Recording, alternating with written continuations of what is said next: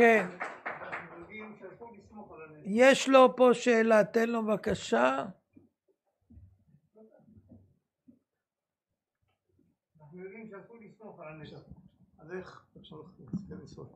אנחנו יודעים הרי שאסור לסמוך על הנס. אז איך הם, אה, החשמונאים לקחו ריזיקה כזאת, ולכן נגיד אה, מאות אלפים, והם היו קבוצה קטנה. שאין ברירה מוסרים את הנפש, לא מסתכלים על התוצאות והם לא הלכו על מנת לנצח בביטחון, הם הלכו לעשות את מה שצריך. כמו שאדם אומרים לו תעבוד עבודה זרה ואם אתה לא תעבוד עבודה זרה הורגים אותך. הוא לא צריך לעשות שיקול ולומר יואו אם אני עכשיו אמות על קידוש השם כי כתוב ייהרג ולא יעבור אז אני אפסיד ללמוד תורה, אני יכול עוד עשרות שנים ללמוד תורה, לעשות מצוות, זה לא השיקול שלך. אתה צריך לעשות מה שנכון לעשות. מה התוצאות זה לא עניינך. הם מסרו את הנפש על קדושת בת ישראל. זה מה שצריך. על מנת למות בקרב. כמו חנניה, מישאל ועזריה. הם קפצו לכבשן האש, על דעת שהם ימותו, לא על דעת שהם ינצלו. זה שהשם החליט אחר כך שהם ינצלו, זה הוא החליט, אבל הם קפצו על מנת להישרף.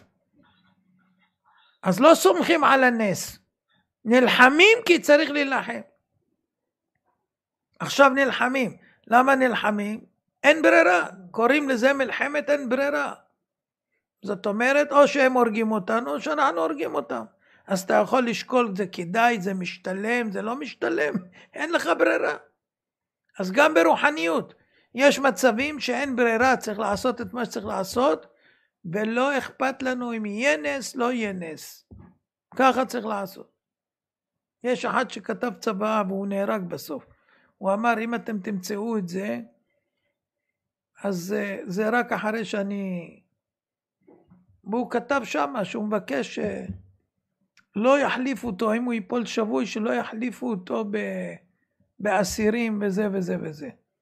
הוא ביקש, ואל תבכו ולא כלום והכל בסדר ואני זה תמיד רציתי ושאם אני צריך למות שאני אמות באופן כזה בשביל כלל ישראל ולא ככה וככה וככה.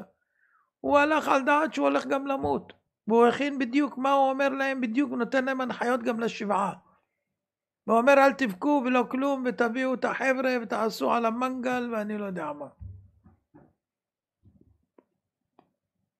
שאין ברירה, צריך לעשות מה שצריך לעשות. אתה מבין? אבל אם בן אדם רוצה לסמוך על ניסים ורק על סמך זה הוא הולך, מי אמר שעשו לך נס? מי אמר שעשו לך נס?